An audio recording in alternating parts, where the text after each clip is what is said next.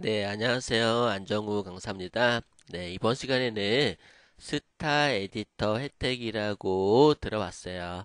창작 지원금 30만 원에 곱하기 6개월을 지원해 주는 것 같아요. 어, 뭔지 모르겠는데, 어, 예. 컨텐츠 좀 만들어 본 숨은 전문가를 찾습니다. 라고 되어 있네요. 여러분들도 한번 도전 한번 해보세요. 50, 30만 원을 예, 6개월씩 예, 지원을 드린다, 드린다 고 하니까요. 한번 해볼 만한 것도 괜찮을 것 같은데 오늘 만들어 볼 거는 요 부분을 한번 만들어 볼까 싶어요. 제가 알 캡처를 실행을 시켜서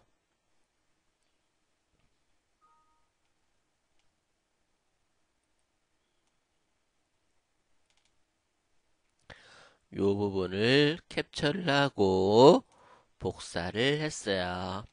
복사를 하고 네, 포토샵을 열어서 파일에서 유 네, 선택해 주세요. 네, 이렇게 예, 새로운 캠퍼스를 여는 대화 상자가 열리죠. 네, 그냥 OK 수정하지 말고 OK 눌러주시고요.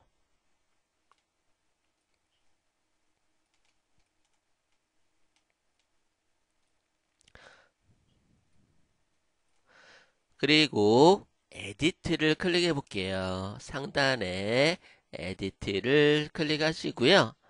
거기서 아까 복사했으니까 Paste 붙여넣기를 클릭해 주세요.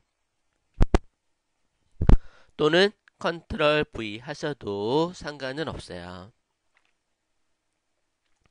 그리고 어, 새로운 캔버스를 열어줄게요. 파일에서 New 선택해 주시고요. 똑같은 크기로 열까요? 네, 똑같은 크기로 하나 열어주도록 하겠습니다. 그리고 원본을 보시면은 동그라미가 두 개가 있네요. 그죠? 예, 동그라미가 두 개가 어, 검정색 그리고 예, 녹색 있는 걸 알 수 있을 네, 이렇게 두 개의 원 사이에 진한색 부분이 생기죠. 오버랩이라고 생각하실 수 있을 것 같아요.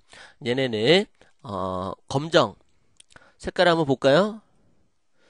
어, 검정이 좀 검정이 많이 안 들어 좀 많이 섞이긴 했네. 예, 일단은 검정과 그리고 파랑 파랑을 오버랩 시키는 예, 그런 이미지가 되겠어요. 그럼 정원을 그리려면은 툴박스에서 원툴 선택해 주세요. 원형 선택 도구를 선택해 주시고요.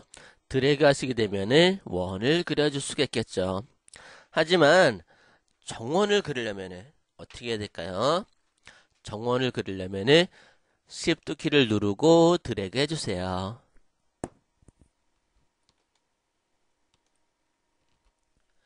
네, Shift 키를 누르고 드래그 하시게 되면은 정원을 그려줄 수가 있답니다.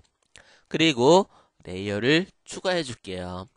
Background에다가 그리게 되면은 수정하기 힘들어져요. 그래서 반드시 layer를 추가해 주세요. 그리고 색상을 색상을 네, 검정색으로 칼라 피커에서 색상을 검정색으로 선택해 주세요. 그리고 Alt Delete 키 또는 Edit에서 Edit에서 Fill Fill을 선택해 주세요. Fill 선택해 주시고 Foreground Color인지 다시 한번 확인해 주세요. OK 눌러주게 되면은 색깔이 채워지는 걸 할 수가 있죠.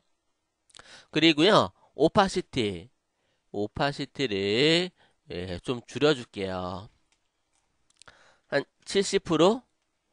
70%로 줄여줬고요. 얘를 옆으로 옮겨서 옮겨두고 레이어를 추가하고 이번에는 파랑색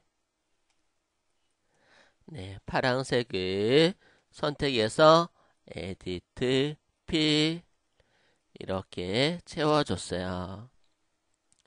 그리고 네, 얘도 opacity를